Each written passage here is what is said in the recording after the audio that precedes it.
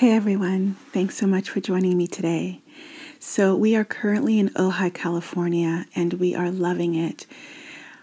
The place we're currently staying has no blender or food processor, and I thought it'd be a, a great opportunity to show you a lovely and super quick recipe that needs no kitchen equipment except for a knife.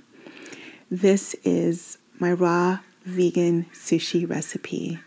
It's a super quick one and it's a real regular go to of mine. So we start with nori sheets. These are seaweed, nori seaweed sheets.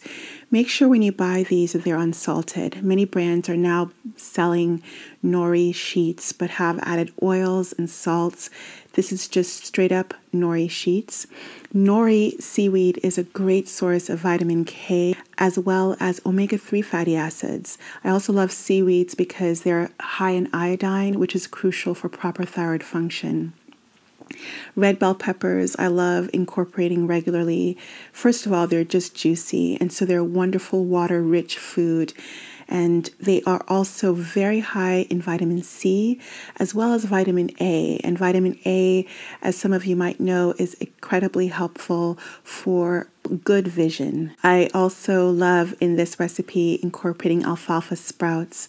Alfalfa sprouts are high in phytoestrogens, and phytoestrogens really help with regulating positively the estrogen hormone in our bodies. And that can help with mitigating a lot of hormonal imbalance that I can see, that I see in several women with whom I work. Alfalfa sprouts, sprouts in general, also boost the vitamin C content. I have a video on my channel all about sprouting, so you can take a look at that video for more about how to sprout at home. I love red onions. They're a great prebiotic source, so I include them a couple of times a week when I'm making recipes at home. Avocados. They are amazing here in Ojai. They're a very local, these were picked from a friend's tree, and they are a wonderful source of healthy monounsaturated fats. Cilantro, Mm, my mom just eats cilantro by itself in the morning. That's how much our family loves it. Cilantro, apart from being loaded with vitamins and minerals, is a fantastic detoxifier of heavy metals in one's system.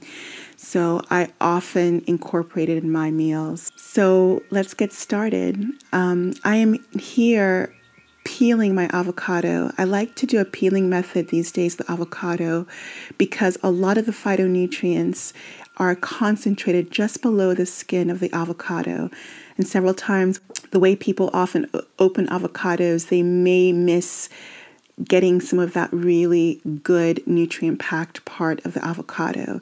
If you scrape it also from the inside of the skin of the avocado, you'll also be able to get this good stuff. Avocados have more folate and potassium per ounce than any other fruit, and they're also high in fiber. So, just a few more reasons to incorporate avocados in a healthy amount in your meals. Here's the sauce I'm using. So, usually, I really like making my own sauce, and I usually recommend that if you have the time and you have a blender, um, blenders can make wonderful sauces check out some of my other recipe videos for those, for recipes for that.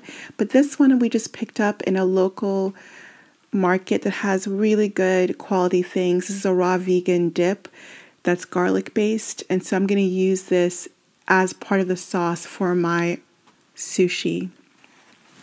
I like to put the sauce on first because I enjoy the different textures of sushi, and I don't like a dry sushi roll. I like it to have some creaminess from the avocado and some of the other crunchy ingredients, and then a little bit of the sauce, I think, takes it to the next level. So I put the sauce on first, and then I'm now adding on the sprouts and the other vegetables on top, and that will kind of stick to the sauce. Once I pile on my goodies, I then tuck and roll. So I roll the nori and then I tuck in the vegetables and then keep rolling. Do this until everything is nice and tightly rolled.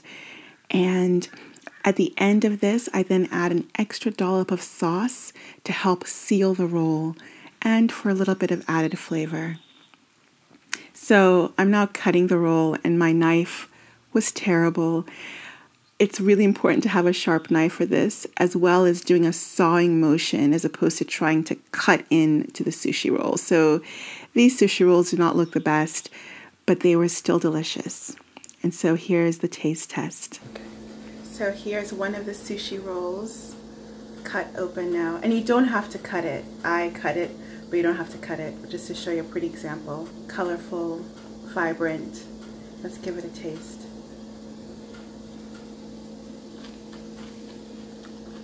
Super good. Mm. You can put a little bit more of the dip that you create for yourself or that you buy that you feel is really good.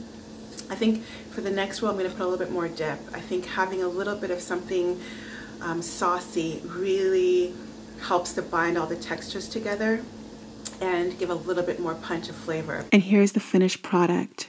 Without filming the filming stuff, it literally took less than 10 minutes to make this entire meal, including the cutting and vegetable prep.